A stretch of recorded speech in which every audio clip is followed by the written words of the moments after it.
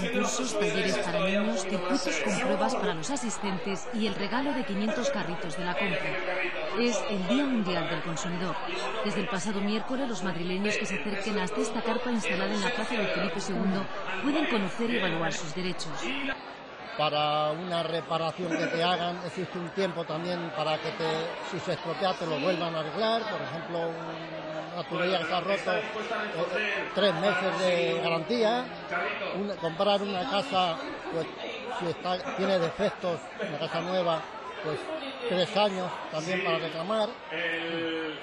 Todo esto lo hemos aprendido que antes no lo sabíamos. Yo no sabía lo que era más o menos eh, cómo se podía reclamar ni, ni cosas de esas y ahora pues he aprendido, hombre, lo que llama la atención, el carrito que te regalan y esas cosas. Ocho de cada diez adultos saben qué hacer ante una reclamación según un sondeo de la Dirección General de Consumo, que también revela que, por el contrario, solo cinco de cada diez conoce la figura del arbitraje.